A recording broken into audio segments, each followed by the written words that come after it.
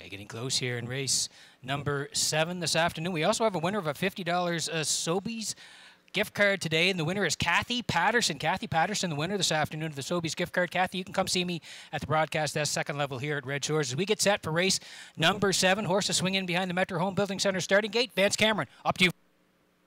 Harlequin Romance, Woodmere Heather M, Traces of Purple, Lock Her Up, Classic Smiley, Evening Maelstrom, J.J. Brienne on the gate, top of the stretch.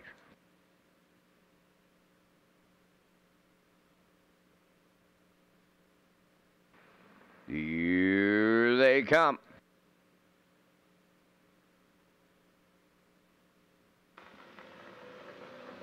Rough and pacing Harlequin Romance will lead them out. Woodmere Heather M is second. Third one to the turn, Traces of Purple. Lock Her Up's away fourth. Fifth is Classic Smiley. Then sixth, Evening Maelstrom. And seventh, J.J. Brienne, right in programmed order. The field of seven swing up the backstretch going to the first quarter.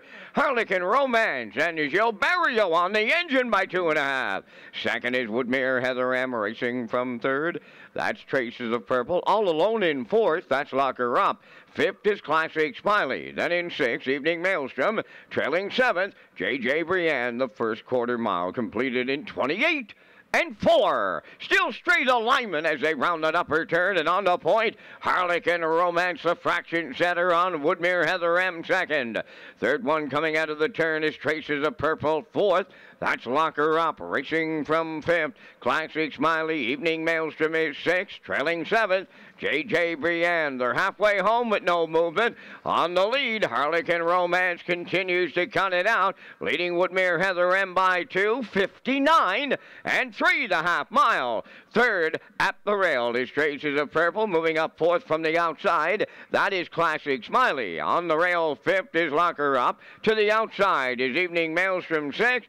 Trailing the field, J.J. Brienne, they're halfway up the backstretch for the final time. Three quarters coming next. Harlequin Romance getting them there. Woodmere Heather M, that textbook two-hole ride. From the outside, third is Classic Smiley. Fourth at the rail is Traces of Purple. On the outside, fifth is Evening Maelstrom, the three quarters in 130. And two, they're homeward bound. Harlequin Romance trying to see it through. Classic Smiley coming with her now and takes over the lead. Woodmere Heather is up the rail third. Traces of Purple fourth. To the wire next. Classic Smiley Woodmere Heather M might have got there on the inside. It's picture time here in the seventh. 2 0 1 and 1.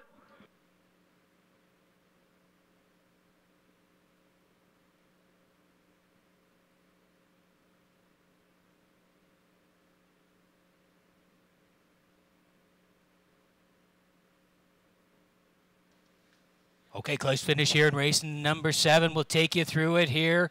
The guys in the control room are going to freeze this late on the slow mo. Here it was a great race. The one, Harlequin Romance, one in front for Barrieau, 28 and four. Woodmere Heather M in the two hole, past the half, 59 and three. Still Harlequin Romance. Classic Smiley starts the first long up here this afternoon for Dowling. They went to the backside, 130 and two still Harlequin Romance, but Classic Smiley was coming on strong. Down the stretch they come. The one starts to fade. Five still strong on the end of it, but Brody coming up the rail with Woodmere Heather M. Not posted yet. Here it is now. Yes, the two Woodmere Heather M on the inside, skimming the cones late is going to get there for McPhee.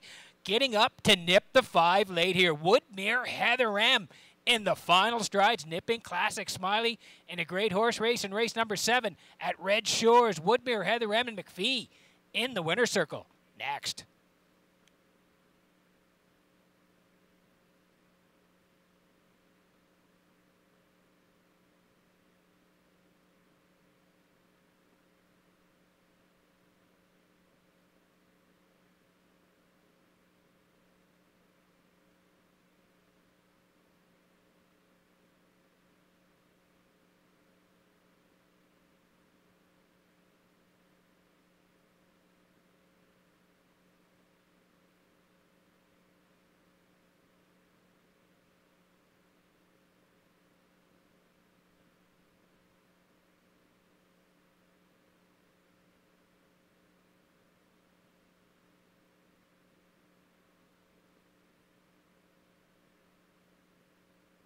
Woodmere Heather M Won the photo finish. She's at the winner's circle, pacing Brown Filly 3 by Malicious from the Rock and Roll Handler Dam, for all we know.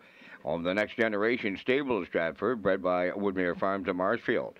Trained by Tommy Weatherby and driven to victory by Brody McPhee. Filly has her fifth lifetime victory today, 201 and 1. Woodmere Heather M in the seventh.